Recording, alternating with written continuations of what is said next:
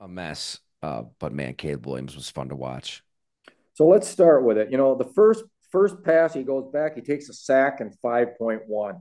He hangs and he hangs and he hangs in the middle of the pocket, and he hung too long and he took a sack. He kept holding the ball for a while. Then he got going he, on a read option. He kept for 10. He really fakes well. You know, he doesn't have great speed running to the edge. There's no 40 time on this guy, but I don't know what he is. Four seven maybe flat. I don't know.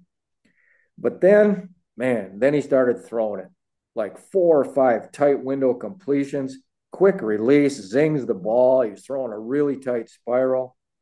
Uh, you know, he had all day one time and he scrambled then, gained 23.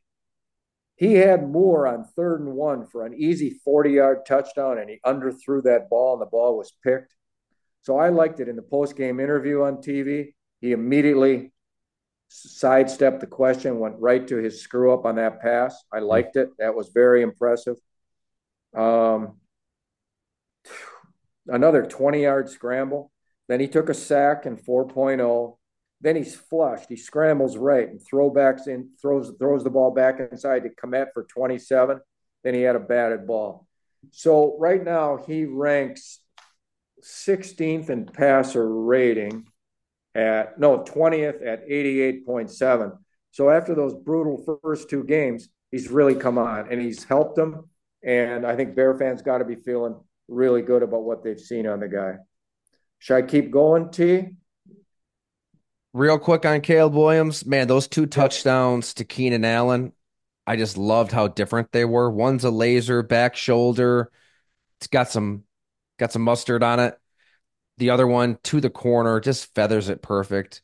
He's got a lot of different pitches. For for a rookie, I feel like that's got to be rare. It's it's not just one. You know, he he knows how he's got to throw the ball in different situations, on different plays, in different coverages, and and schematically, it's improving. Man, it was so blah early on with the Bears, but you got to give Shane Waldron credit for for really kind of innovating on the fly here. His passer ratings, to your point, had the three brutal games. Should really, you know, two and a half, but the last three games 106.6, 126.2, 124.4. Hmm. Seven touchdowns, one pick. Um, you know, and Jacksonville has a better pass rush than what the Packers saw from the Cardinals and the Lions saw from the Cowboys, I would say.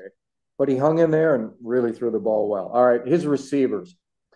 These great weapons that we've been talking about, the four or five great weapons, they really showed on this day now. They're not as good as the are they as good as the Lions? They don't have the running. They got a lot of weapons. I'm not going to start rating them yet, but all right, Kmet. He's been kind of in a shell. He just hasn't been getting the ball, but he got the ball a lot in this one. Was he five for 70, two touchdowns? He kind of leaked out of the protection, ran, ran a long seam route. Uh, Williams spotted him, caught the ball about the 10, broke a tackle from the safety, Cisco at the 10. It was a double screen, beautiful call by uh, who's that coordinator? Nah. Shane Waldron, who's taken some heat in the Windy City. I know that.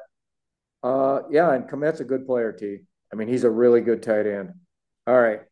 Rome Odunze. I hadn't seen the Bears for a couple games, but here now he ran a post for 28 against zone coverage and looked good doing it. And then he ran a well covered in route, tough catch, gain of 12.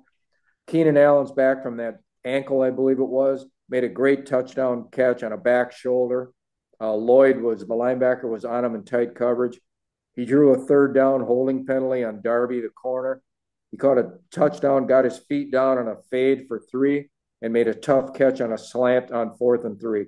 He's really freaking good, right, T? Keenan Allen has stood the test of time. He's a wonderful player. He's Anquan Boldin. He's one of those great Patriots guys. He's a tremendous player. He's in the Hall of Fame. Trained as well by Mr. Steve Calhoun, Jordan oh, Love's oh, yeah? personal quarterback coach. Gotta okay. give Steve a little kudos there. Yes. Yeah. Insane route runner. You talk to receivers around the NFL, they point to Keenan Allen and Stevie Johnson as like trailblazers for running mm-hmm. routes as a receiver in the modern mm-hmm. game. Mm-hmm. Uh, DJ Moore had kind of a quiet day, uh, but he's always there, available to, to break open a game. All right, let's go to the other. Let's go to the stick with the weapons. Uh, Swift, DeAndre Swift. Okay, the ex Lion, you know, and they moved him, and they got uh, they got the kid from Alabama, and he's better than Swift, but Swift looked really good in this day now, really good. He had 21 touches for 119 and one score. He's had two or three really good games back to back. You know, he had a fine cutback game 12. He saw that cutback lane. He will not run out of bounds. This little guy is tough. He doesn't want to go out of bounds. Uh, you know, the Lion won't either. 20 on a screen. He made uh, that Miller linebacker miss. He reversed his field on a run, basically gained eight shake and bake, shake and bake off right end, gained 18, broke a bunch of tackles. Then he fumbled on a toss. Uh, they got the ball back, but it was a, a really bad fumble. Roschon Johnson, I think he was injured early in the year, and they were playing the Herbert guy on short yardage, which was ridiculous. Now they got Roschon, gained 16 on a screen. He's a big back, broke a tackle, made a one handed catch in the flat. I like it. When Williams threw a pick, Johnson went and made a really nice tackle. You see how guys play, how how they hustle when the other team's got the ball.